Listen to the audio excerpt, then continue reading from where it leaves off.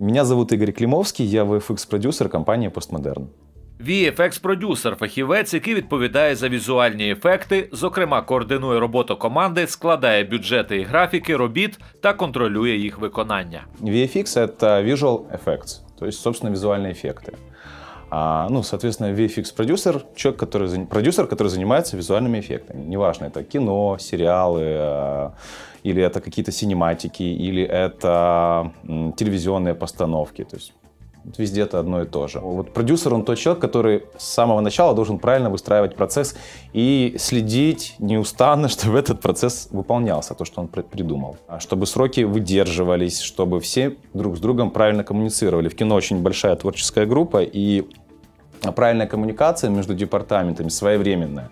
Это очень сложная задача, очень непростая. Конечно же, продюсер в том числе решает и творческие задачи, к счастью, да, поэтому не, то есть не, не только один Excel. Все начинается с концептов. Это первый шаг, который в любом сложном кино должен быть.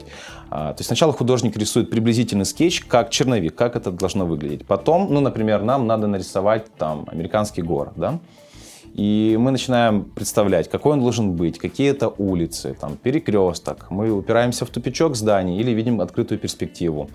А, мы начинаем это сначала в черне набрасываем скетч, потом рисуем уже детализированный концепт, и а, часть этого концепта может потом и войти уже даже в финальный кадр. После концепта создается 3D-модель, ее делает, соответственно, моделер. А он же, этот же моделер, либо другой человек рисует текстуру, это картинка, изображение, которое располагается на поверхности модели и, э, собственно, делает э, самолет таковым визуально. То есть она показывает, что здесь у него крыло, здесь у него чуть-чуть там от выхлопных газов там черным подкоптило, здесь у него пулеметы, здесь чуть-чуть у него тоже от этих пулеметов что-то там подкоптило, здесь поцарапалось. Э, и текстура дает, ну, она собственно, текстура, да.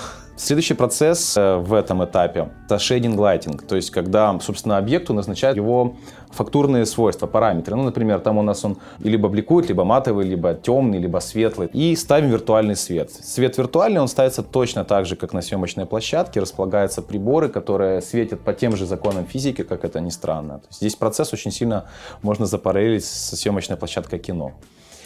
А, и уже после этого мы отправляем это на рендеринг. Мы получаем после, после рендеринга, то есть у нас работает такая большая серверная, серверная машина. Это комплекс из нескольких десятков компьютеров, которые занимаются вычислением. То есть они согласно законам физики, отсчитывают там, как падает свет, сколько раз и где он отскакивает. И после этого мы получаем изображение, которое можно уже э, назвать почти финальным, но оно еще совсем не финальное, оно переходит на следующий этап, который называется композитинг.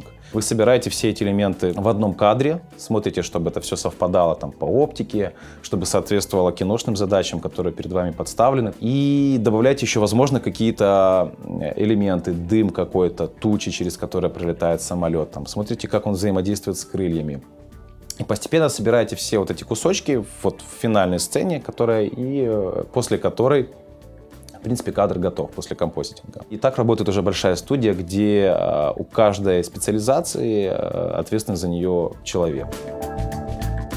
Незламно сделалось э, все визуальные эффекты, которые делались за 20 тысяч часов.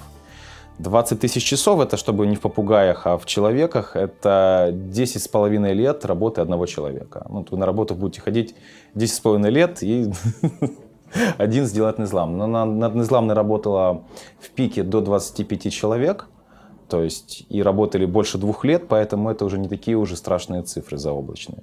«Марсианин» Ридли Скотта, а, там на пост было 24 недели, но там делала одна студия все космические кадры. Это Framestore, та, которая делала гравитацию. У них тысяча человек команда.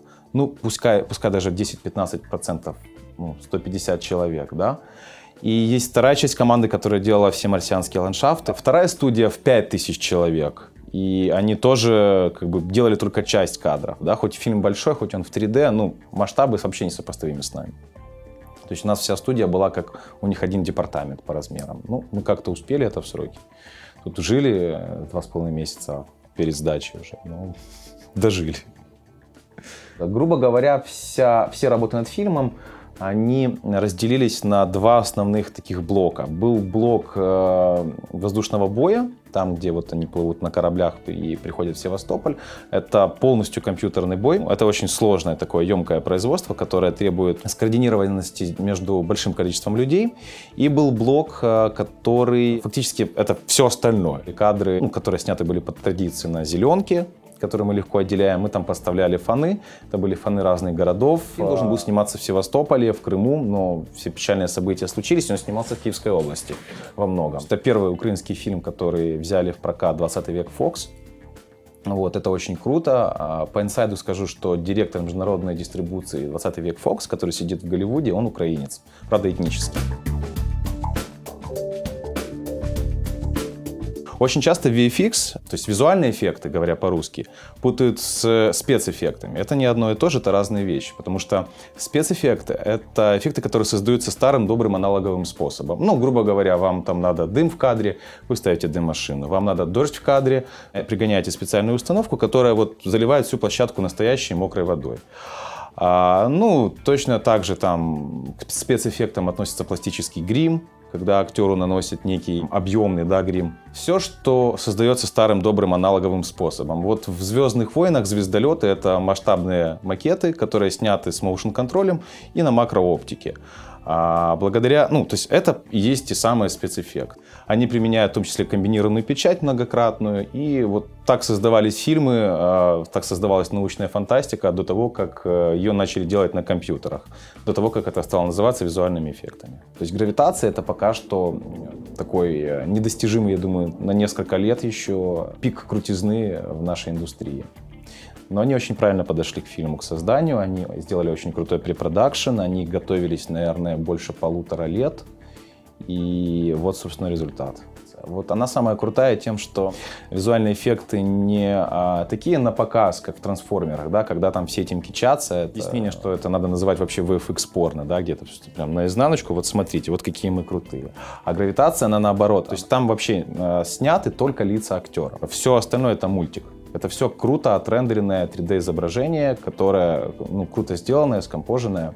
И вот в этом как бы его достоинство, то, что при полной стопроцентной фотореалистичности, при полной достоверности, вот это все сделано в студии визуальных эффектов. Еще «Жизнь Пи» очень хороший. Э, хороший вот этим самым тигром. Тигр же там не настоящий. Причем очень круто сделан. Он там а, по ходу всей истории он становится, он такой сначала был упитанный, холеный, такой из крутого зоопарка тигра, потом такой худенький, такая уже в общем, потяганная кошара, жалко его. Э, и это все делается, естественно, в студии визуальных эффектов. Дело в том, что много украинцев, очень много наших специалистов работают в западных студиях, делают эти фильмы там. Мы все эти фильмы знаем. Это блокбастеры 3А. То есть это самые там известные фильмы. Ну, то есть даже так берете, так на вскидку любой фильм говорите, но точно кто-то из наших там отметился. Значит, у нас есть какие-то курсы, которые дают очень базовое понимание профессии. А высшего образования в визуальных эффектах нету, то есть это люди-самоучки. У нас есть четыре номинации на топовую э, премию отраслевую. Премия называется ВЭС. Это что-то, не что-то вроде, это как будто бы Оскар в визуальных эффектах. Круче нету. И каждый год, вот в этом году мы тоже подаемся, подаемся с Незламной в сериалах, держим пальчики. Э, каждый год э, туда подается около 10 тысяч заявок, и где-то 100-110 попадают в шорт-лист. Ну, то есть, грубо говоря, 100 из 10 тысяч стреляют. Ну, вот мы четыре раза попали в шорт-лист и а, трижды проиграли «Игре престолов».